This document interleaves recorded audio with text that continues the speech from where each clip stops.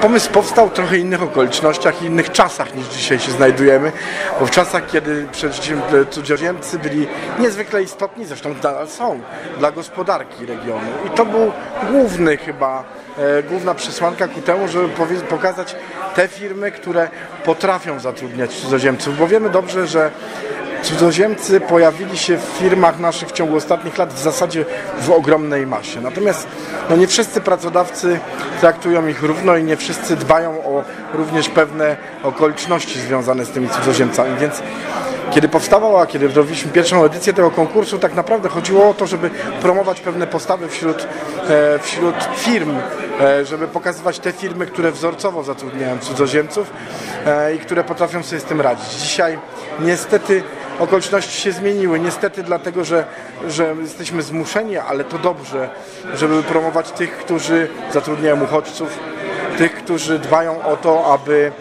e, mieszkańcy Ukrainy, którzy byli, Ukraińcy, którzy byli zatrudnieni w województwie opolskim, żeby mogli zadbać o swoje rodziny również. Pojawiły się zupełnie nowe okoliczności, ale cały czas chodzi o jedno. Chodzi o to, aby e, pracowników cudzoziemskich traktować na równi z pracownikami polskimi.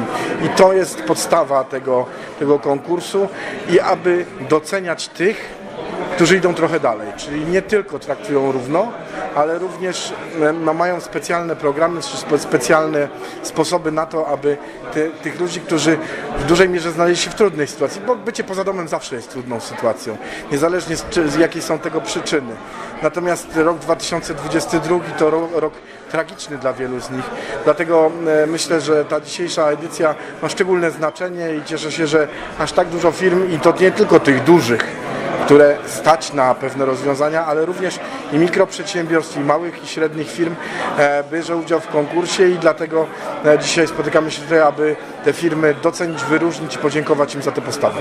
Ja rozumiem, że dzisiaj rozmawiamy o tych, którzy są przyjaźni cudzoziemcom, a czy są znane na Opolszczyźnie jakieś takie przypadki karygodnego traktowania cudzoziemców? Ja, akurat my nie jesteśmy tutaj właściwym, właściwym rozmówcą. Myślę, że e, pani okręgowa inspektor pracy, która dzisiaj również z nami będzie, myślę, że ona mogłaby na ten temat powiedzieć. Myślę, no, niestety podejrzewam, że, że również takie przypadki się znajdują. Wiemy, że również wśród przedsiębiorców znajdują się różni ludzie i starają się niestety wykorzystywać trudną sytuację e, tych, którzy znaleźli się w Polsce i często traktują ich nierówno. Stąd między innymi powód do tego typu ko- konkursów.